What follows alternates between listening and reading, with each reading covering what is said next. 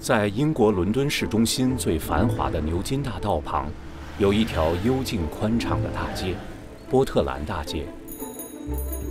这里使馆林立，英国广播公司 BBC 的总部以及英国皇家建筑学院也在这里。1875年，清朝的慈禧太后买下了这条大街的一栋办公楼。从那时起，中国驻英的外交机构就一直在这里。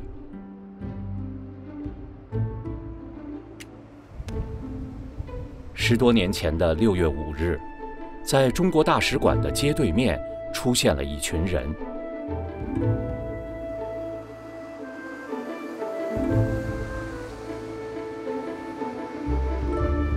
Basically, we've got um, a 24-hour vigil here that's been going on for 14 years uh, outside the Chinese embassy. It's about organ harvesting in China. People being killed for their organs because they meditate. Both governments and media are deliberately ignoring it. Please sign our petition. I think when we, more people realize we all stand up, speak out, definitely help, definitely help. 从那天开始，不论白天黑夜，他们从来没有离开过。 Have you heard of Falun Gong? You've made a, a strong message here for a long time. People know, right? There's a cartoon. This guy looks like a drunk. It makes it look like you're fighting against hooligans. These guys aren't hooligans, right? They're not drunk. Yeah. That is frightening professionalism.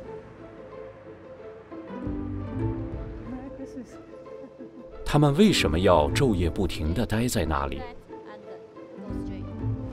面对强势的中共政权，他们的行动到底又能起到什么样的作用？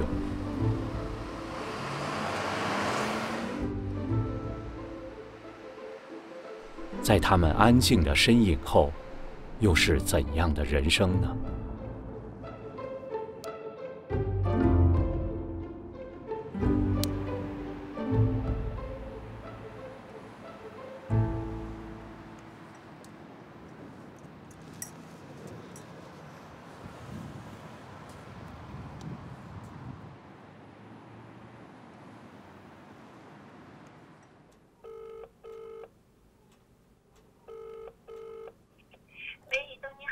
哎，富华，嗯，哎，谢谢你，我看着你的短信了。那个，你能做星期三、星期四上午那个班儿哈？高玉东，使馆前静坐的协调人，负责安排一周七天、每天二十四小时使馆前的排班。中共在国内迫害大法弟子，他可不分白天和黑夜呀、Good evening, Red Police. 那我们是不是应该把我们二十四小时坚持下去？因为大部分人都要上班或者上学，所以排班并不是一件容易的事。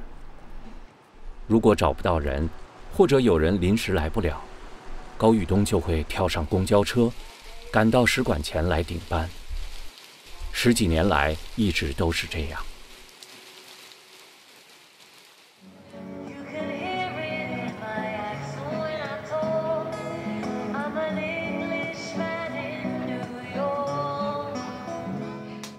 这是那年我跟杨洋去加勒比海度假的时候照照片。这是在一个小岛上。高玉东的儿子杨洋，大名叫做陈阳沐月。从十一岁起，杨洋就和妈妈在使馆前静坐，常常会在路边的帐篷里过夜。这是二零一二年吧，一一年，神韵的巡演的舞蹈，这是杨洋，这在中间。八年前，杨洋去了纽约，加入了顶级的中国古典舞演出团神韵艺术团，并在世界各地巡回演出。每年的五月份，他都会回伦敦看望父母。One big piece。他在巡演的时候，其实，嗯，各种各样的食物也都吃过，回来就会说：“哎呀，妈妈，还是回家里妈妈做的酱牛肉最好吃。”洋洋，问啊，怎么样？哎呦，玩的好吗？嗯你怎么没刮胡子？没刮胡子，多。这个爱基买的盘子，死海泥洗面奶，这个是真的这个泥我们去我们去那个游泳，然后就抓到地上，就是那个时候就把把脸全都那个抹上，就全全都倒进去。对，这个哇，我有时候这个餐馆里都买。我就是那哎，个，这衣服你穿上了，你是整形的，你穿你穿挺合适的。嗯，爸爸穿上会小，他而且他觉得这个颜色太。那你穿刚刚好，颜色也特别合适。 So every year I come back home, and every year I have to go back to the Chinese embassy at least once. And it's just just being there, like all the memories come back to me. Hey, Lila. Lila, good to see you. So this is really cool. This wasn't here. This wasn't here last year. These solar panels. So so when it's when it's nighttime, it turns on by itself. very bright. Waterproof uh, flyers. This is same storage room. I remember when we first started, I couldn't I couldn't see the top. I had to like uh, jump up here. 14 years ago, so I was 11. I was 11. The first few weeks when we started, there were up to three tents here. There's one right here, one here. Sometimes really cold, but then here. it felt very warm inside. You know, like everyone was a family. So this is like our recreational area, I guess. When we're bored, we just come back here to play. My mom would uh, go to the KFC three blocks down and get a huge uh, family bucket. It felt like every meal was a picnic, and every night was a camping trip. On many days, I would uh, wake up at seven in the tent, and then I would put on my school uniform, like a like a very proper-looking uh, suit, like the whole thing with a tie, and then I'll just get out of the tent, uh, and then brush my teeth at McDonald's, and then take take the London Underground for about half an hour, and then take the bus for another 20 minutes, and then go to school. Like my best friend at the time, I would always go to his house and play.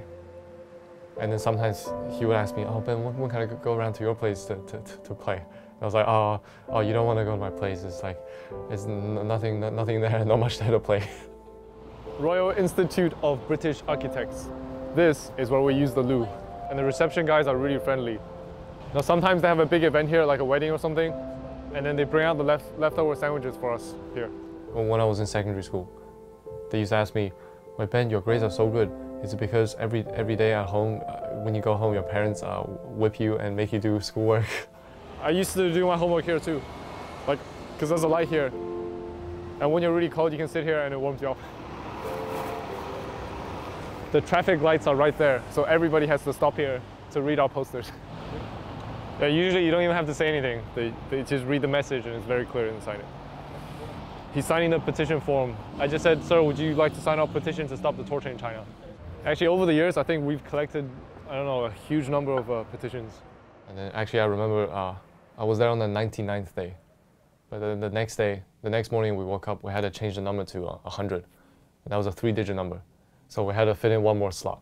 And then I asked my mom, I said, Mom, how long do we have to be here for? And I remember her answer very clearly. She said, Until the persecution ends, whenever that day is.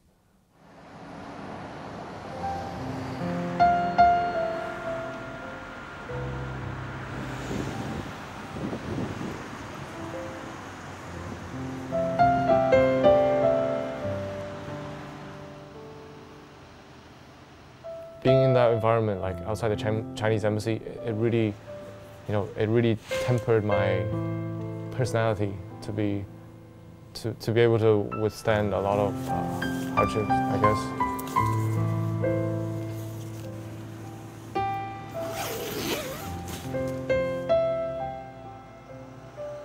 And then when I sit there and sit down to meditate and uh, do the exercises just by myself, I feel really, really peaceful. And it just reminds me of everything that we're doing and why we're doing it.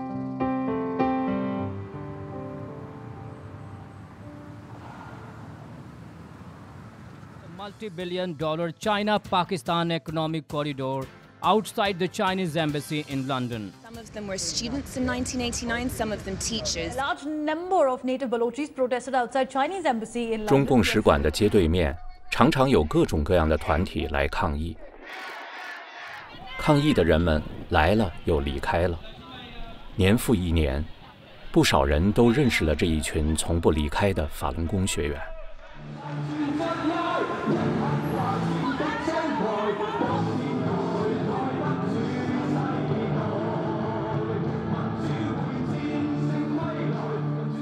那我们看真谦是呃，反对火灾法轮功学员去关的陈千表，还碰到了中国留学生，非常感兴趣。他们不只是想想了解六四，也也想了解法轮功的情况，而且他们还签了名。每次有什么抗议中共的活动啊，使馆肯定都要叫这个警察来。这警察呢，还是专门的保护外交使团的警察，佩戴武器的。这个使馆从来呢，不让他们用他们的卫生间啊什么之类的。所以呢，警这个警察经常呢就是到这对面来。警察每次过来之后呢，都要跟我们聊聊天，来看看我们展板。我们通常静坐的那个位置呢，是正对着使馆的正门的。但是今天因为是纪念六四活动呢，正对着大门很多人，所以我们就把我们的位置挪了这边来了。现在他们活动结束了，我把它放回去。有一个名记者吧，就是像是香港的吧，他也签了名。他当时问了几个问题吧，他说：“英国政府要跟中国做生意，他会采取行动吗？”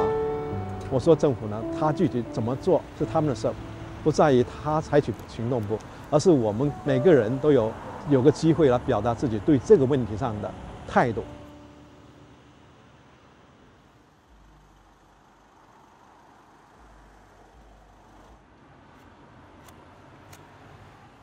自己，我家里人呃被迫害嘛，对，而且我知道。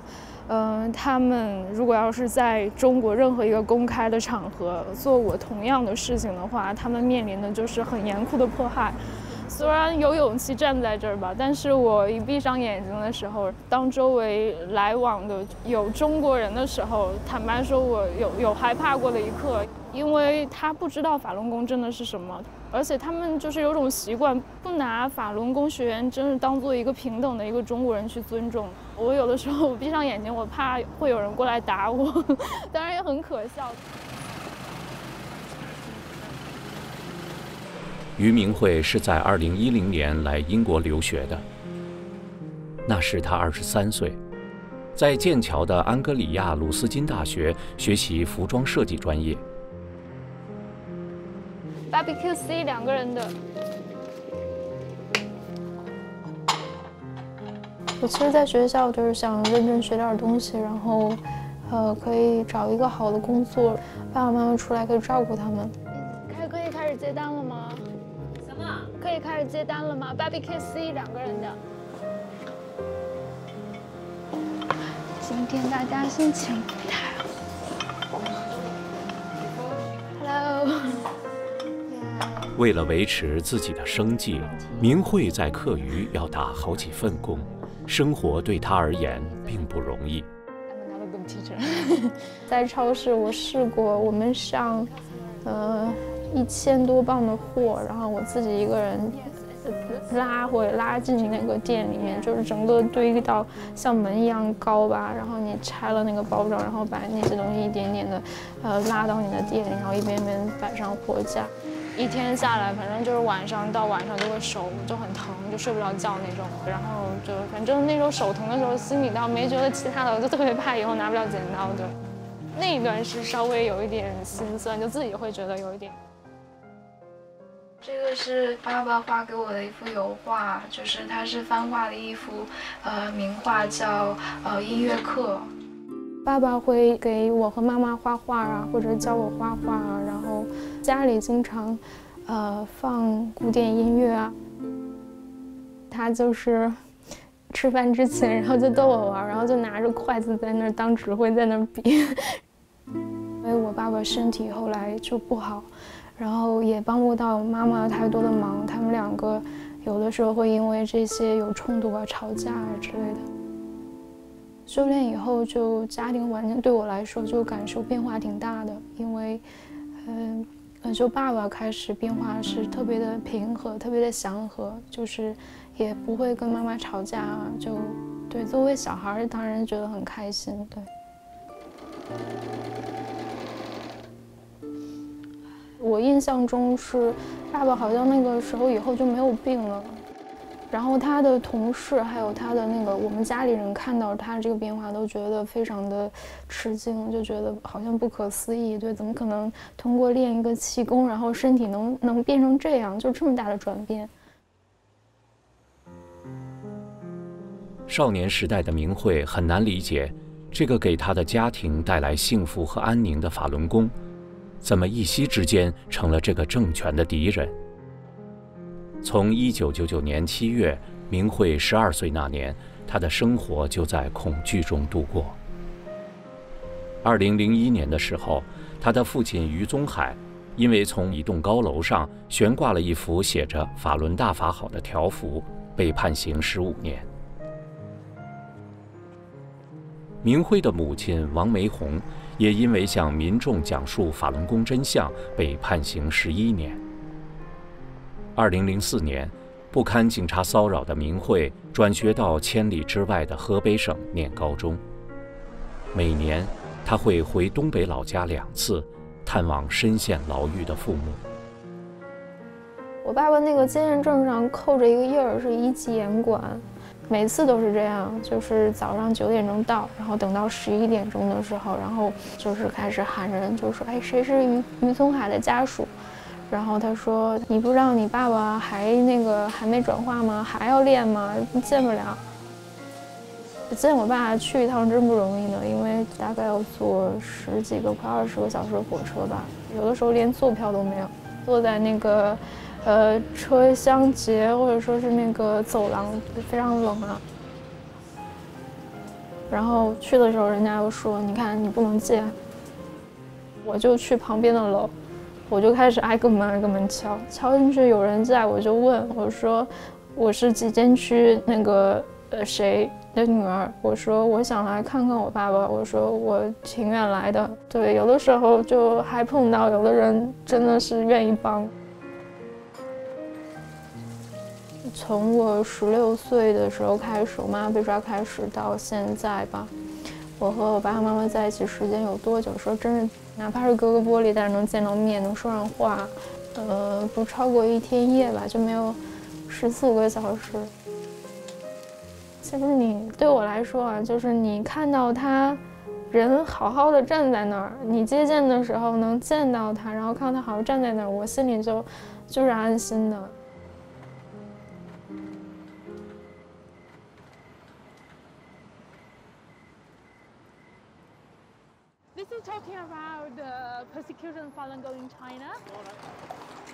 没有经历过中共历次政治运动的人们很难理解，法轮功为什么会遭到中共政权的镇压。除了政府的妖魔化宣传，很多中国人也没有机会听到法轮功学员讲述自己修炼的体会和这场镇压所带给他们的苦难。不过，就在中国大使馆的街对面。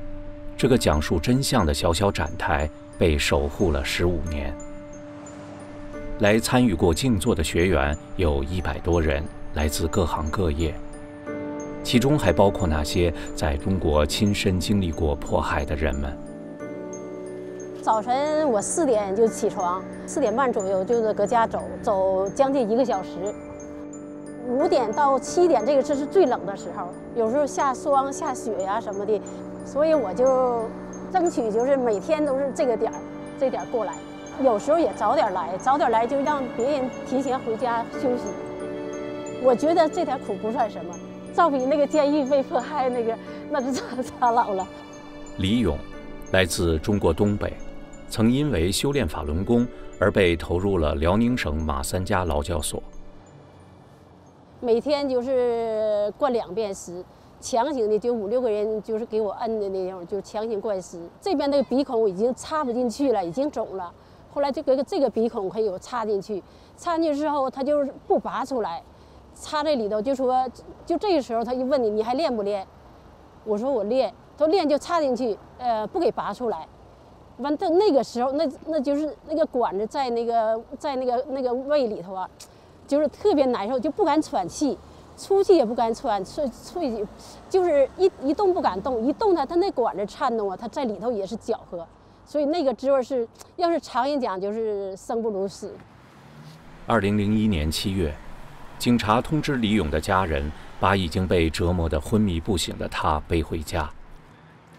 他们没有想到，他不仅通过修炼恢复了健康，还来到了英国，坐在伦敦的中共使馆对面，告诉人们迫害的真相。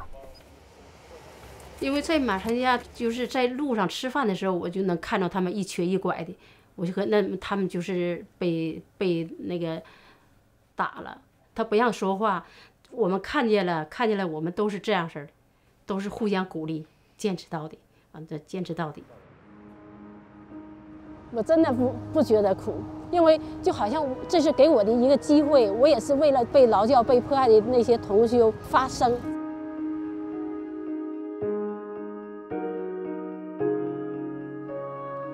In order to get here, I have to, to drive to a train station, I have to get a train, I have to get a tube, and then I walk here. so that everybody in the world sees our ad. Or if we had the Accenture cloud solution for consumer goods.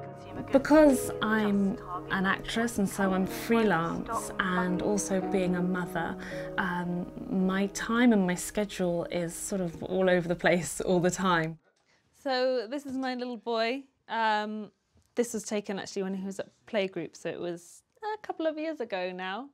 Often there is a bit of a struggle and balance between between these things. I think it's so significant to be opposite the Chinese embassy, to be there as a visual statement. It's about organ harvesting in China. Yes, we've been there since 2002. It means that people really have this visual reference of us saying, you can't eradicate Falun Gong. We're always going to be here. And the thing that needs to be eradicated is the persecution, and it's really making a bold statement.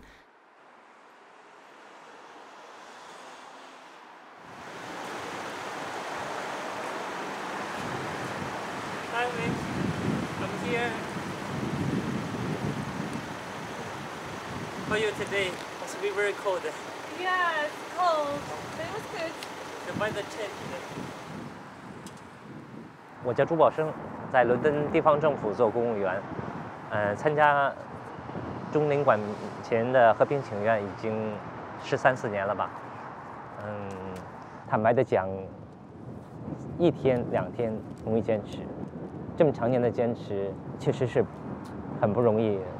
呃，你知道到晚上的时候，几乎没有什么行人，连过往的车辆都很少。使馆工作人员已经下班，大门紧闭。谁知道我们在这里？谁看我们？但是一件事情改变了我，那应该是零八零九年的事吧。一天大概半夜时分，我驾车在回家的路上，车里的收音机有两个人在谈脱口秀，其中一个人问说：“你知道伦敦最漂亮的建筑是哪一个吗？”另一个人回答说：“我不清楚。”第一个人告诉他说：“告诉你，就是现在的中国大使馆。”就是那个对面有法轮功和平请愿的那个建筑。我当时听了，震惊的不得了。子夜时分，一个西人的电台能够谈到法轮功，而且谈到我们的和平请愿，真是出乎我的意外。那么就听这个主持人接着说，在这世界上每天发生的请愿抗议有很多起，但是一种抗议请愿是长期的，而且是和平的。它是最有力量的，他是当时用了一句 “most powerful” 这样一个词，我很难形容当时自己的心情。我觉得国内同修承受了无名苦难，我们在这里呼唤正义良知，我们在这里做的一切都是值得的。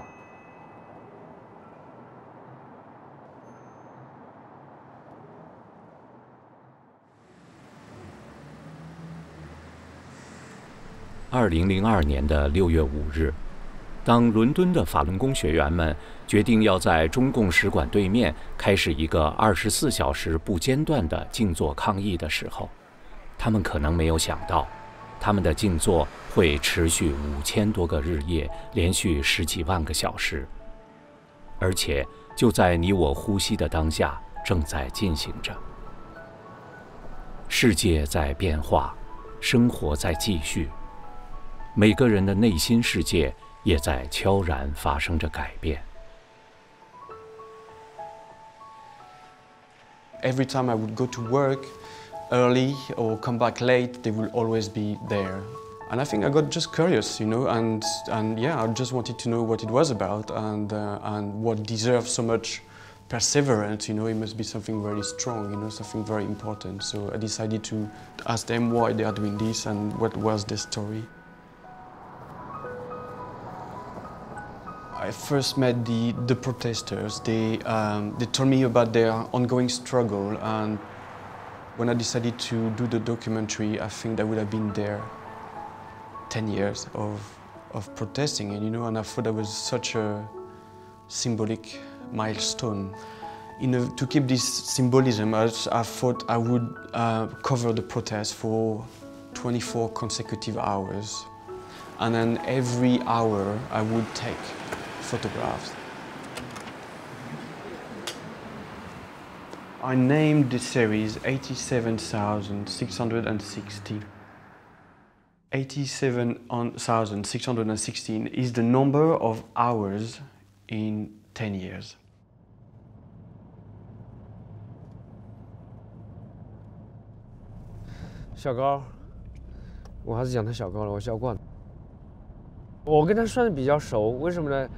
呃，最开始我来伦敦的时候，在大学教书的时候，我就离他们家两个 block。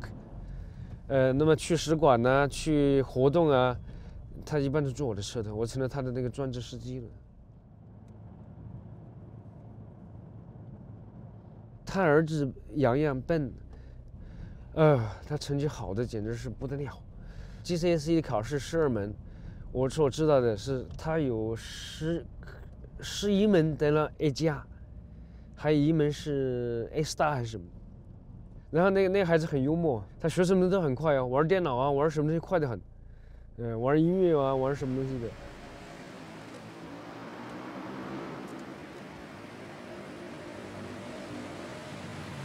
周远，我们给那个 Riva 准备了两个卡，一个是给那个 reception team 的，还有一个是给呃 building manager 的。我们每个人都签一下哈，然后我们我们圣诞节前想给他们送过去，表示他们对我们的支持和帮助。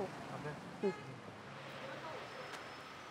小高就是一个很能吃苦的，我估计你要问所有的那个英国学员，他都会告诉你一点，嗯，他真真的是很能吃苦。很多时候他是通宵值班，然后第二天洗吧洗吧脸，然后就去上班去了。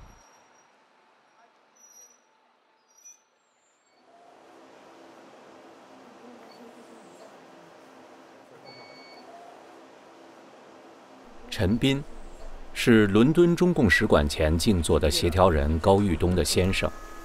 来英国前，他曾是兵器工业部的一名工程师。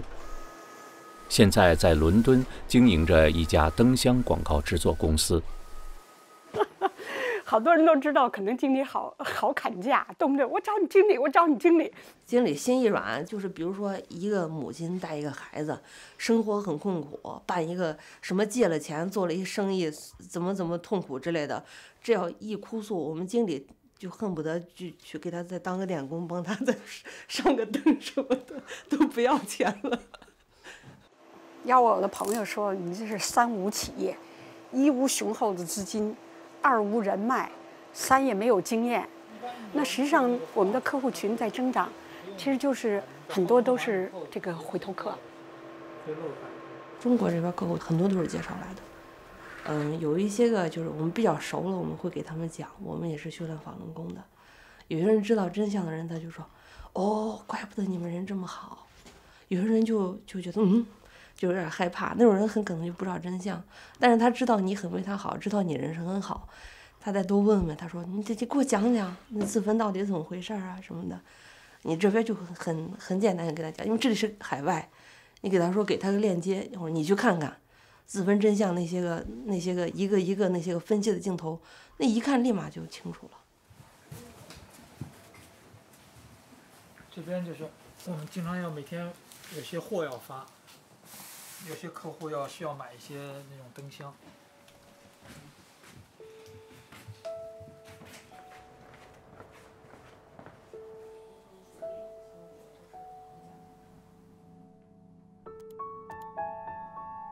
从大学起，陈斌就对气功感兴趣，试过不少功法。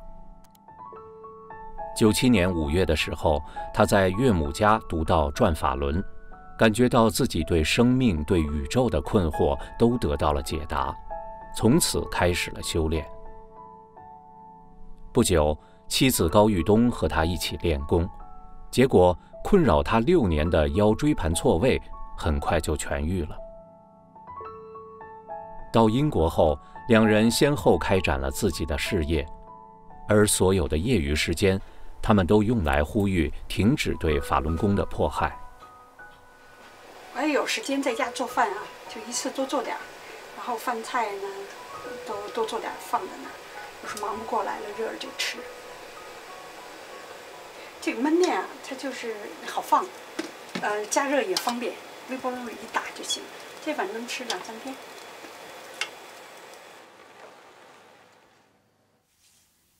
你看这这个小时候的故事哈，洋洋其实他爷爷啊很喜欢他，但是爷爷呢本身就是一个一个很严肃的人，哎，洋洋呢就是那时候老师说爷爷我亲亲你，爷爷说不让亲不让亲不让亲，我说行不行我要亲亲你，咣带着带着吃好的蛋糕往他爷爷脸上一亲。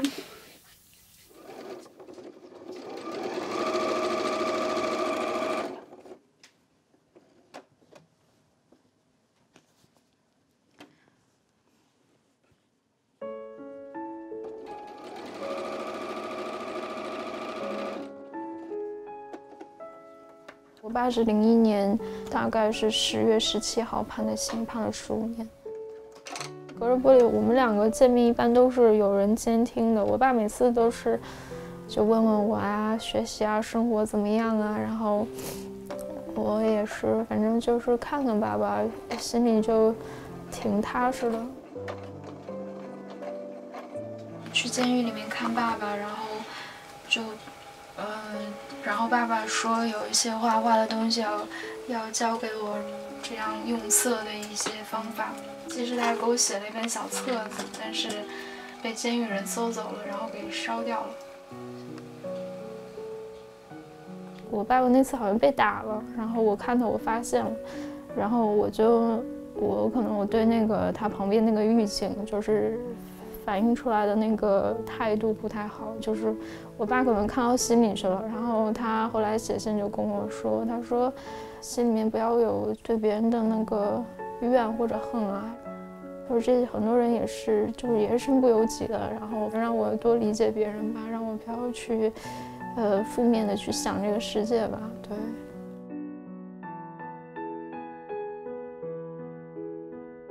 爸爸每次走的时候，他都会回过头来，然后跟我做一个这种握拳头的手势，然后对我笑，笑的特别的，就特别的善良的，就那样的笑，然后就是眼光特别有神，意思就告诉我说，爸爸还很坚定。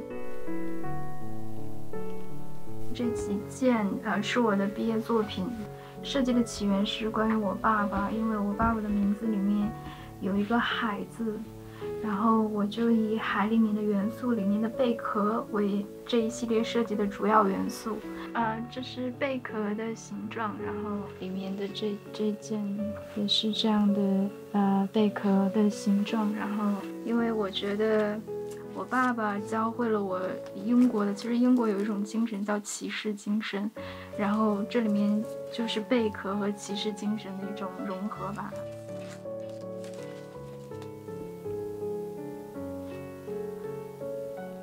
他一直写信鼓励我，他说，呃，就当做是我们的小别，然后就经过这种磨砺吧。我爸爸说，希望。我可以变得更加的坚强吧。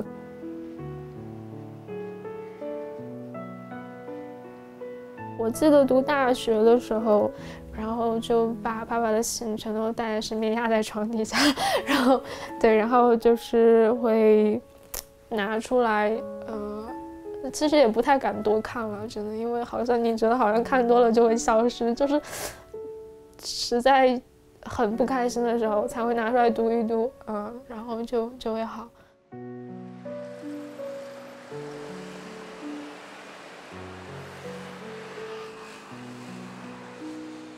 形同孤儿，十几岁的明慧一个人生活，一个人搬家，独自面对生活的挑战、警察的骚扰和亲友的不理解。所谓一句话“长贫难顾”吧，尤其他们是不修炼的人，就不太理解这件事情。他觉得拿你的自由、拿你的工作、拿你的家庭这些东西来比较的话，那是可以放弃的东西。他们不太理解这是什么。对，所以，呃。对，你那时候理解吗？我理解一部分，坦白说，我我也不完全理解。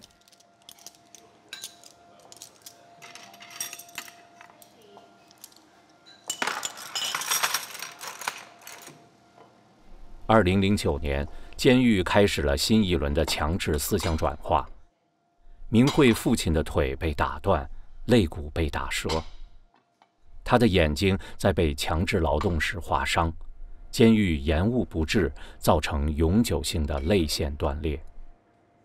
那时，他的刑期才刚过了一半。对，零九年的时候，觉得对，嗯，人生有点心灰意冷了那种感觉。对，其实我一直是有个心愿的，我觉得，哎，好像我乖乖的、健康的长大，然后，呃，可以他们出去的那一天，我们是可以团聚的。他们出来以后，我是可以照顾他们的，然后我就特别特别怕爸爸坚持不住，他在里面八年，那个时候他还有一半的监狱的路要走。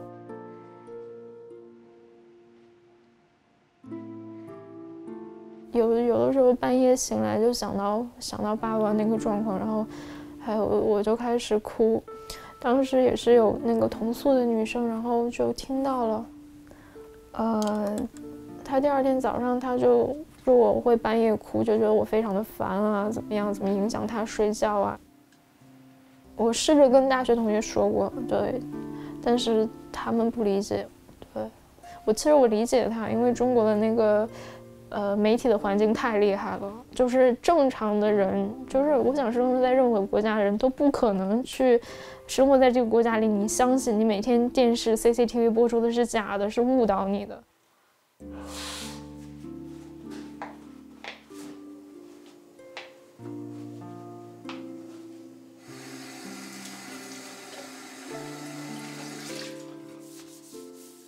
小的时候，爸爸妈妈都说要做好人啊，做事先考虑别人啊，与人为善啊，这样。慢慢长大的时候，然后那个还是有的时候会困惑的。哎，为为什么？好像爸爸妈妈教你那些做人的道理，怎么好像行不通似的？就好像这个社会不是说认可说努力的人，而是所谓的那种比较聪明的人嘛。其实当时对我的嗯价值观上冲击是挺大的。其实那个时候我连信仰也基本上是放弃了，就是。心底有真善人这三个字，但是说有也也困惑了，好像你觉得你做的对的事情，但是这个社会回给你回馈给你的信息就是要伤害你。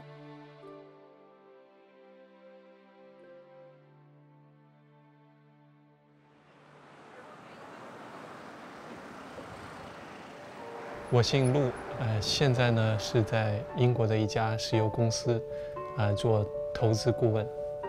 我当时呢是在伦敦以外的一个大学读书，那么那一天呢，我去那个中国大使馆那边更更换护照，哎，就看到那个法轮功的真相点，因为因为我们知道这个英国它是一个法制非常正规、非常公正的那么一个国家哈，看到一个这个法轮功的这个真相点，堂堂正正的就摆在了这个大使馆面前，那那给我这个一般的中国大陆来的人来说。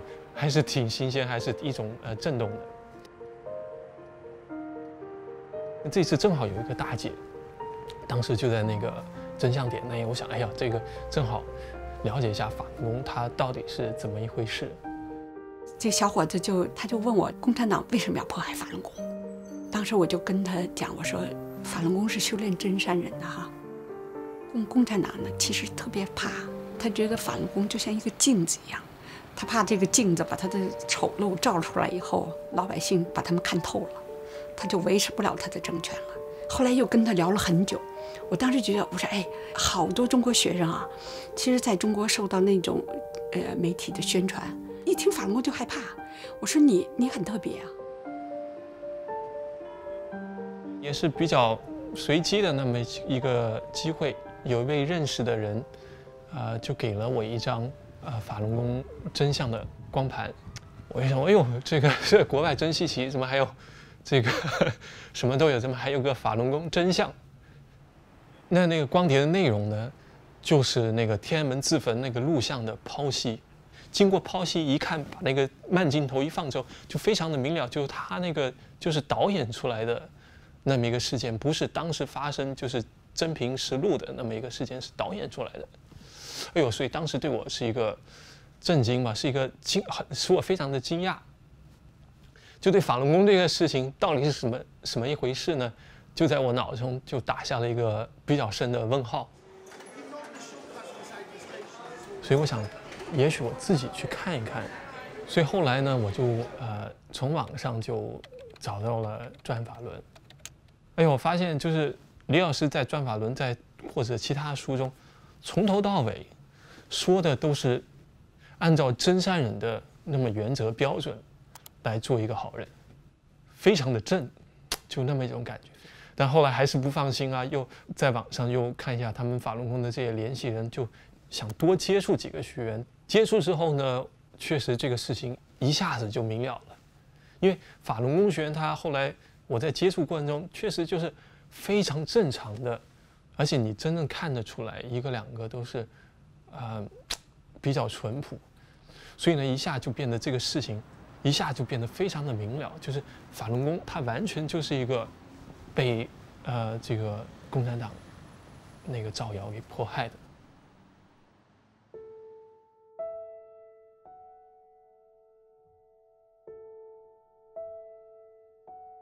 我们这边这个 bus 呢有两趟哈夜 bus，就是二十四小时都有车，直开到市中心。所以我有时候晚上去接夜班啊，或者凌晨接夜班啊，都不用担心交通。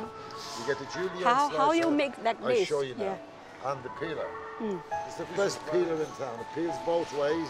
That means left-handed or right-handed people can use it. 这家店我经常能够淘到点儿物美价廉的，这一盒一磅五。啊，这个豆角不错。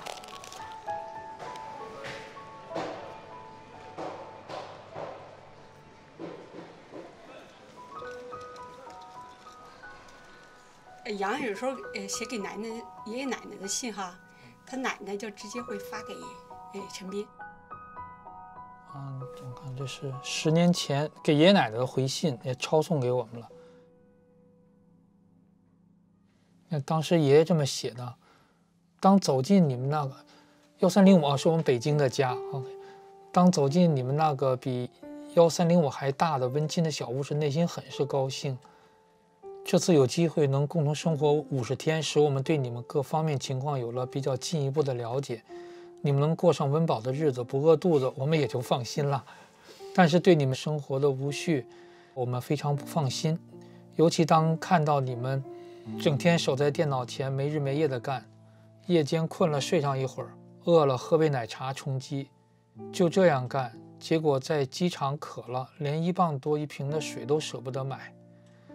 付出就应该有回报，可你们没日没夜拼命干，不要报酬，还要往里搭钱，让人无法理解。四十岁正是好年华，凭你们俩的知识才能，好好规划一下，努把力。虽然不能赶上罗源、麦克他们那样的富裕生活。起码也能提高一大步啊。可是你们现在想的不是这些希望你们合理的安排一下生活给自己减减压。上述作为我们伦敦之行的一些感受看法供参考吧。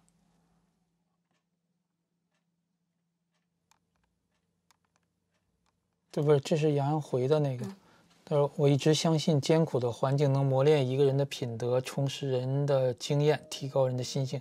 这和修炼的道理也是相通的。当然，我们不是故意找苦吃，而是在生活困境中，别人对你不好时，甚至是被迫害中，都不能放弃，都能依靠坚定的毅力走出自己的路。现在回想起来，我可能不那么成长，也许会变成惯坏的懒人，什么都不会干。”娇气又傲慢，也许太安逸了，就会慢慢的放弃了信仰，去追求物质享受的无底洞了。没有玩游戏机的时间，我可能用在了创作音乐上；没有享受物质生活的时间，我可能用在了读书和丰富知识上。我慢慢理解了小时候理解不了的，为什么大人都那么忙；理解了当年为什么爸爸妈妈都那么忙，因为我们处在非常时期，处在被迫害中。而且至今打压还在大众不知道的背地里进行着，人命关天啊！所以爸爸妈妈有时会没日没夜的干。爷爷奶奶说付出就应有回报，这这的确是真理。这么多年过去了，不管是爸爸做报纸也好，还是整个我们家情况也好，还是家长小时候对我的教养也好，有些事情当时不一定看到回报，而是很多年后才看到成果的。爸爸妈妈当年那么费力，不是枉然的。孔子讲过“义和天命”，知道一件事情在道义上是对的，就应该去做，而不用考虑成功或不成功。我们能做的，唯有全心全意的去做，对得起自己的良心。这件事不管最后成不成功，我们都成功了，因为在道义和良心上，我们将永远处于不败之地。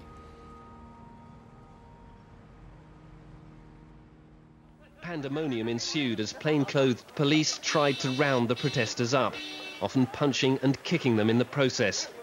But just as one group of protesters was quelled, another group would appear. Whatever happened to Falun Gong? Ten years after China banned the spiritual movement. 自从1999年7月，中共对法轮功的迫害开始以来，学员们向世人展示真相的努力就一直没有停止过。 Since the clampdown, there's been a daily vigil outside the Chinese embassy in London. Beijing hopes Falun Gong's influence is ebbing away, but outside, its supporters are more determined than ever to keep their faith alive. Emily Buchanan, BBC News.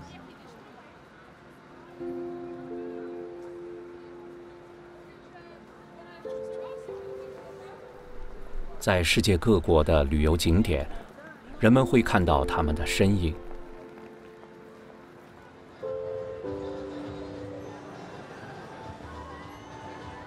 在舞台上、画廊里，他们以古典的艺术来表达自己的内心世界以及他们所遭遇的苦难。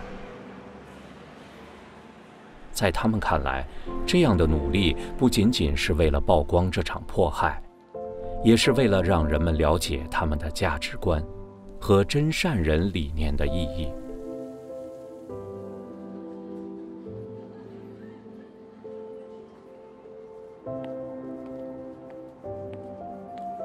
对于父母被迫害、从小尝尽人间冷暖的余明慧来说，这样的努力让他明白了自己的父母所付出的一切究竟是为了什么。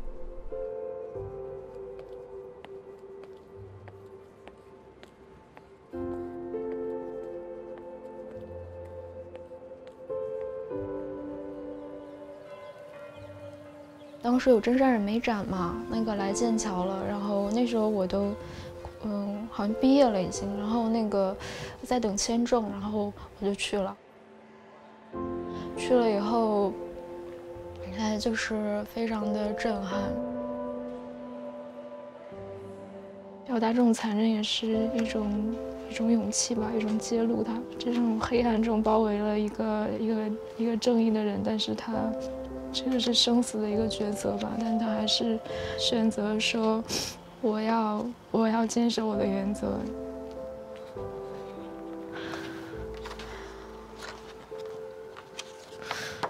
就是最有共鸣的一张呢，就是就是这张这个无家可归这张小女孩的画吧，就是，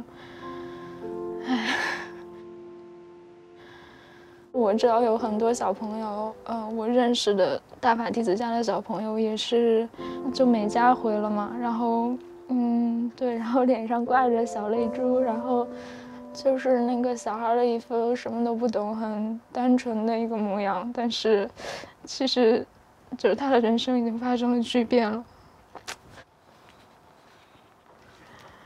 然后还有这种各种的酷刑啊！我当时我就觉得不太敢看，但是，嗯，那个时候一看就想，哎呀，爸爸妈妈在里面有没有碰到这些事情啊？就不敢想，也不敢看。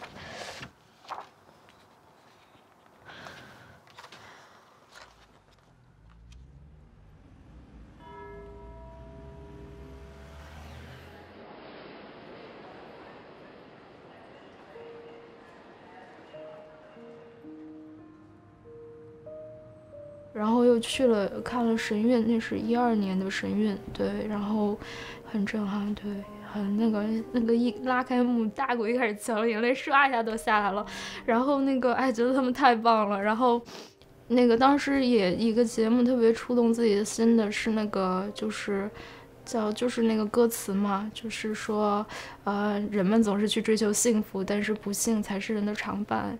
无论你多么强悍，命运总是把你轻看。但是，守住你心底的善吧，守住你的善。嗯，愿我的歌声打开你的迷帆。反正当时那首歌，尤其那句“守住你的善”，当时真的是，我就觉得完全就，完全踏实到我心里，就就是，哎呀，原来我一直丢掉了，或者是一直说，你想去确确定的你的一个一个心理的一个状态，好像你就找不到那个词是怎样的。但是当时那个，我觉得啊，原来就是那个，对。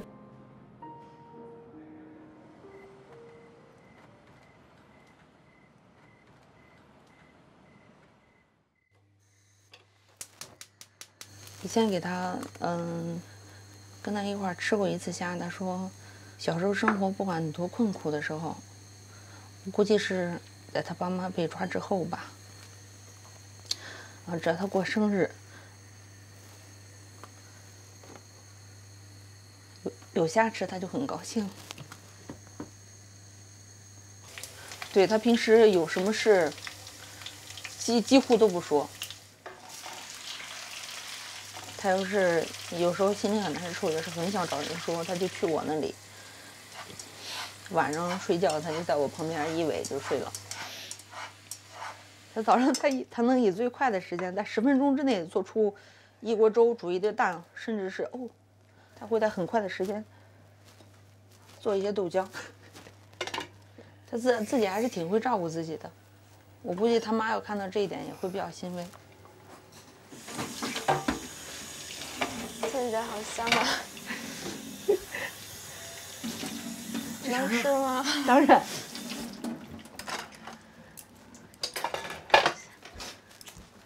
你知道吗？这个虾隔一夜更好吃。真的？嗯，因为它味道会泡进去。我我现在想做个大点的，但是我想大的你可能拿不了，风一吹它吹不好了。哦。这是一个横板，对吧？嗯，它多宽啊？嗯，我设计是一米一。哦，一米一这样举着哈。对，一米一，然后四十，四十，受不了，看你爸这样。反正那个，对，应该看看他，哎，没事。对不起。没事没事，不是我。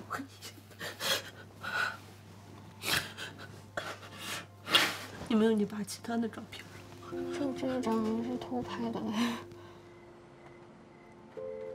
一开始营救有害怕，就是最大的担心就是我在这边有什么行为会对他们造成直接的伤害，那个是谁都不想见到的。对，但是我要是后来我就是问了一些人吧，他们告诉我了一些呃切实的经历以后，我知道不是这么一回事。他做坏事嘛，他怕曝光，比如说跟媒体曝光啊，给 MP 写信，给 MEP 写信，嗯，给使馆写信。德国有一个同学，就也是在营救妈妈，然后他就是做了一个明信片，然后让世界各地的人啊，都把这个明信片寄到监狱里去。就是我当时听到这主意，觉得特别好。呃，黑色的那个栅栏，嗯，颜色调浅一点，好不好看？嗯，行，好的。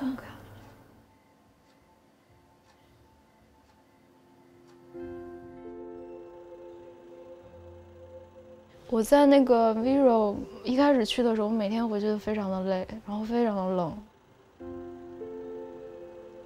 我就看着对面的楼，然后我就想，嗯，你们这个发动了这场迫害，你们导致这么多、这么多家庭支离破碎，真是把人生幸福全都剥夺走了。就是你们，你你们不是说不让在中国练功吗？我就在你对面练功。对你不是那个想藏起来吗？我就在你对面。那个时候就非常的累，就是每次那个那样去的时候，因为就是真是雪上加霜，就是就是那个心情也非常的沉重，眼泪也开始往下流，就是我不我我又不敢流，因为我觉得路人看见我会觉得怪怪的。但是，嗯，后来这个这个状态也好转了一些，是自己提高了吧？对，因为就是说其实很可悲，他们也是被欺骗的人，他们都不明白这件事情是对和错，但是他们在无形中作恶，然后还要自己去还，就会你会觉得很可怜，然后就是你慢慢那个心态就变了，变了以后就平和了，然后平和了以后就不冷了。在自由的环境里。明慧心里的创伤在慢慢的愈合。从自己和周围的法轮功学员的经历，他明白了，父母从小教育他的真善忍的理念，在生活中是行得通的。渐渐的，他的勇气在复苏，笑容在增加。一个生命的善是它一个本身的那个，它物质就是善的，它它散发出来，它无论对待什么东西，它它那个它那个它出污泥而不染嘛，它不会说因为怎样，然后它就变得嗯不一样了，不是那样的，就是读懂了转法轮嘛，嗯，就读懂了，就明白他们在做什么了。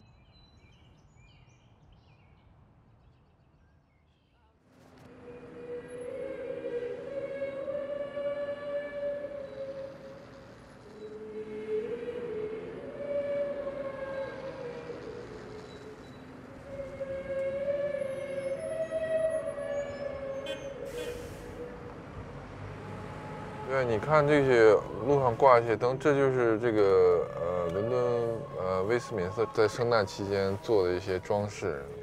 呃，圣诞节期间呢，威州这个地方呢是没没有，我们是不会停下来的。现在已经是晚上的九点半了，甚至到晚上的十点、十一点呢，它都还是很堵的。坐，不管你是坐公公交车还是自己开车。你都会看到路上很堵塞，所以呢，你有时候要设一下避免躲避交通的这么一个呃 GPS。有时候星期五你可能工作了一天，你晚上到晚上你应该是休息了嘛，对吧？十点钟你要出门去无遮无掩的地方待一晚上，尤其是冬天的时候，你一开门就不禁打一个激灵。其实，在国内那些大法弟子在监狱里受到的迫害啊，相对于他们来说，你这个真的没什么。另外啊，你不来做的话呢，别人就来要来顶这个班包括像高姐，很多人都在说她很坚强，她是一个很坚强的人。她毕竟她是个人啊，她还她，而且她是个女人，她是一个孩子的母亲，是也是别人的妻子，对吧？有时候想到这些，我都觉得我还是应该继续的去坚持在这个项目上。Basically, I come here to do to clarify the truth about the persecution. Um, every Saturday, we've got a 24-hour vigil here that's been going on for 14 years outside the Chinese embassy. Sometimes you get people like Chinese where they walk past and they'll swear, things like that, but it doesn't really, it doesn't really affect me because you know, we're there. There's all there's all different types of people there, and there there are Chinese people that come through that are interested, and maybe the ones that you know, maybe the ones that swear, maybe later on, sometimes they come back, and you know, they might take a newspaper or they might take a leaflet or they might talk to us a little bit, and we could have discussions with them. So, it doesn't. I don't really get offended by that.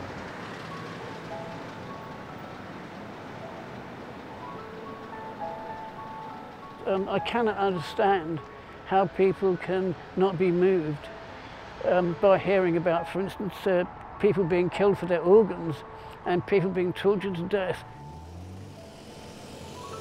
It's a persecution of basic human decency, um, truthfulness, compassion, and uh, tolerance.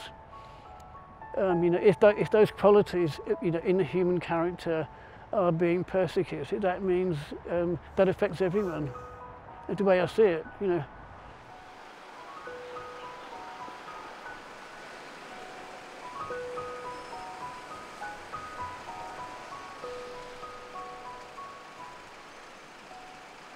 这谁拿来的这个？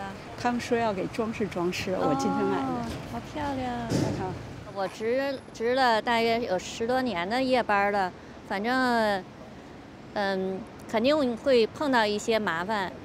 像有一次吧，嗯，我在这儿就是打坐的时候，就后边有就喝多了酒的嘛，就站在我身边身旁边，就晃晃悠悠、晃晃悠悠的就在，但是呢。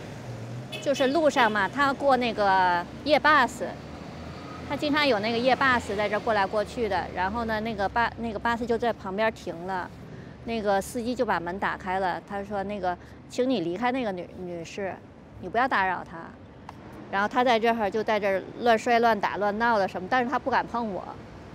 反正那个人就一直在这儿看着他，他走了，那个人才把把车开走了。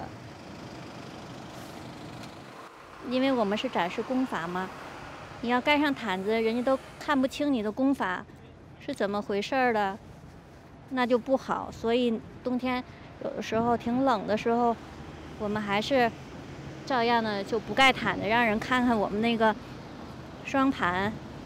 双盘他们可那个羡慕了。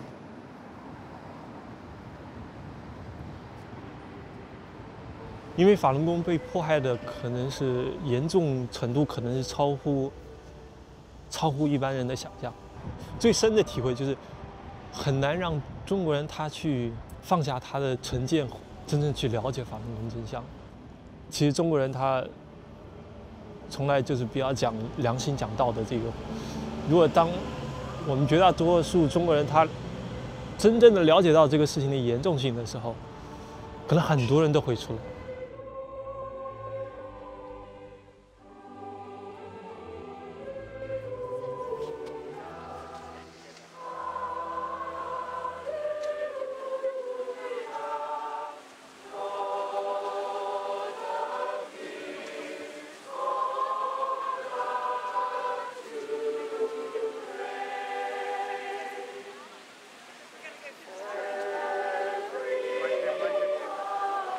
我爸又跟我讲说，你在一个栏杆里面，你向外看，有人看到天上的星光，有人看上地上的泥潭。那你想，十几年的监狱，那对任何一个人，那个心理伤害还有身体伤害，那都是巨大的。就当时我的预想就是，他们需要我很多的陪伴，帮他们慢慢去适应这个社会。结果等到他们真的出来的时候，我真的我很惊讶，我真的很惊讶，两个人都非常好，就是超乎就非常的好。这种苦难磨难吧，对他来说，就是不但没有成为一个对他造成一个永远的伤害，反而成为了他的一种更乐观、更豁达呀，然后更更积极的一种精神。他就我我觉得这就是他，因为他修炼啊，他那个精神上他是日渐丰满他，他越来越纯净。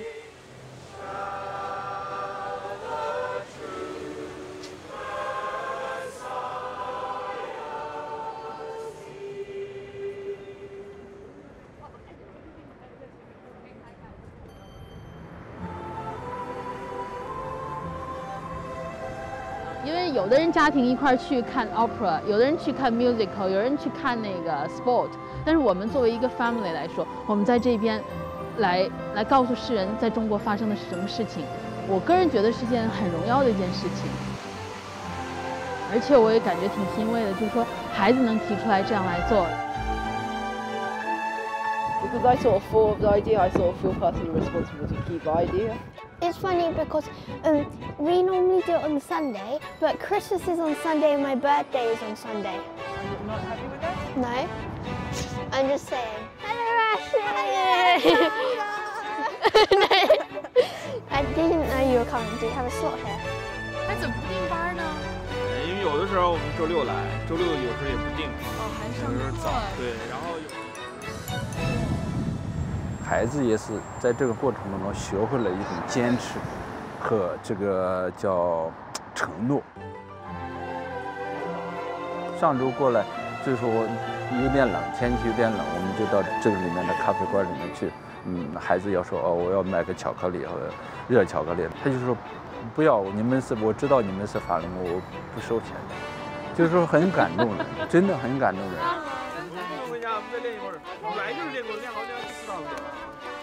Christmas and a happy Christmas Have a good Christmas. Have a happy New Year. uh, most of the shops are going to be closed, so I just went to the Sainsbury's and bought uh, uh, enough food for today and and, um, and tomorrow. So public transport will stop from today, and the whole of Christmas Day there's no buses, no trains. You find it easier to just uh, stay in a B&B within walking distance of the villa. I normally put things by the window. That's closer to keeps it cool. Um, it's a nice, uh, it's a nice little hotel. Uh, it's very quiet.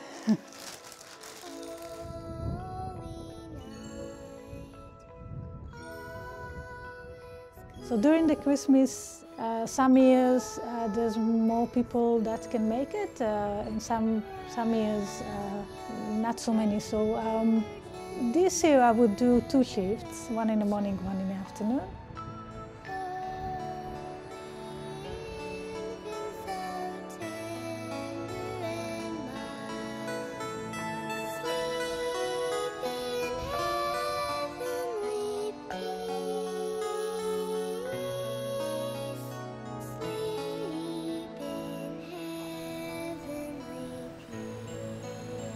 我们三口人虽然天涯海北各自一方吧，但是我们的心是在一块儿的。你可以一直保持着，在这个这个无论周围环境多复杂，你都是一个美好的一个生命，你都是一个很快乐的。反正我知道我们三口人虽然就是有很多生活各方面的难题，但是我们很快乐。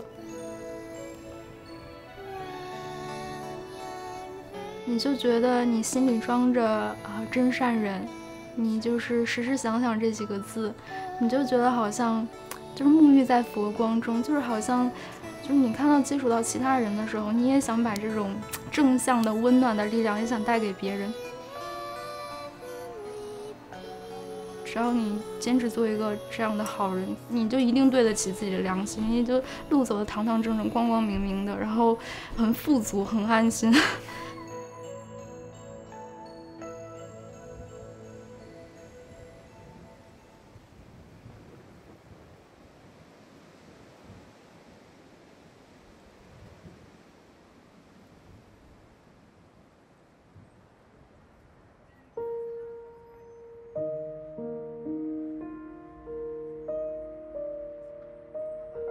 One day on stage, I felt like outside the Chinese embassy again.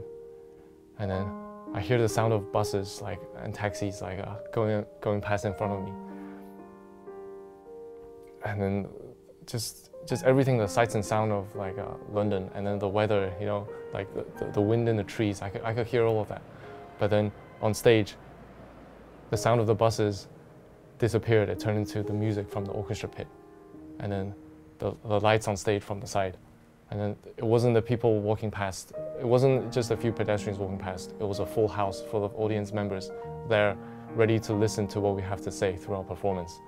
And for me, that was a very special experience because it just keeps reminding me what we're doing here, you know. Suddenly I felt like I wasn't dancing for myself anymore. I was dancing for others on stage. I was dancing for the millions of practitioners around the world. I was dancing for all the other practitioners who were staying at the Chinese embassy that was still going on. All of this was for persecuted practitioners in China who are suffering for the same belief that we have, who, who are being persecuted for saying, doing the same movements that we are doing right now.